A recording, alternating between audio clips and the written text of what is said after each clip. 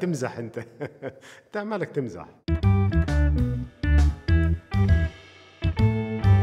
أعتقد لا توجد هناك أي علاقة بين يعني بين انخفاض مستويات التدين أو انخفاض مستويات الإيمان وانتشار حرية حرية العقيدة.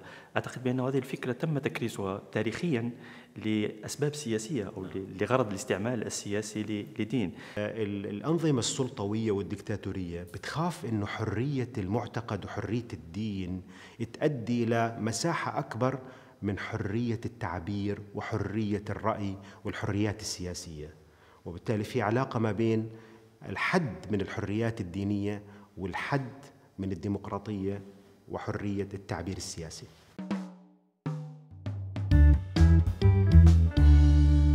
أعتقد بأن ربما السؤال يجب أن يصاغ يمكن أن يصاغ بطريقة مختلفة. ما حكم المرتد أو الردة في الفقه الإسلامي وليس في الإسلام؟ أعتقد بأنه يجب أن نفرق بين ما يقوله الإسلام وما تقوله المنظومة الفقهية، المنظومة الفقهية مجموعة قراءات. في القرآن ماذا يقول؟ إن الذين آمنوا ثم كفروا ثم آمنوا ثم كفروا ثم ازدادوا كفرا لم يكن الله ليغفر لهم، ما قالش إن الذين آمنوا ثم كفروا فاقتلوهم. إحنا إذا فكرنا إنه الإنسان لا يملك الحرية فكرة الحساب والعقاب والجنة والنار والخطأ والصواب بالعكس أنا بشوف إنه كل الدين راح يتحطم لما إحنا ننزع منه عصب الحرية.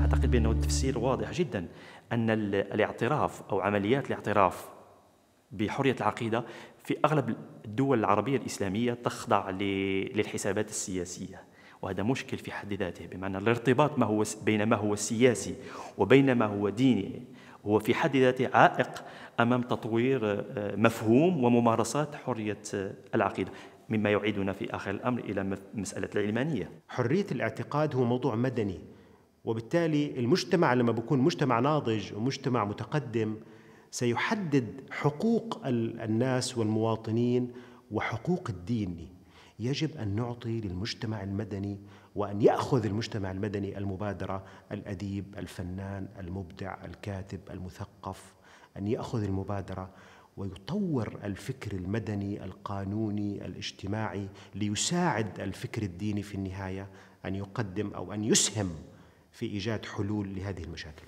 ليست فقط مسؤولية رجل الدين أن يتحدث عن حرية الإيمان وحرية الاعتقاد وحرية الكلمة هي مسؤولية المجتمع برمته.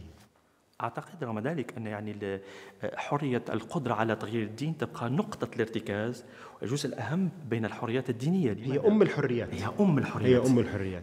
يمكن نهضروا في الدين. ممكن نحكي دين؟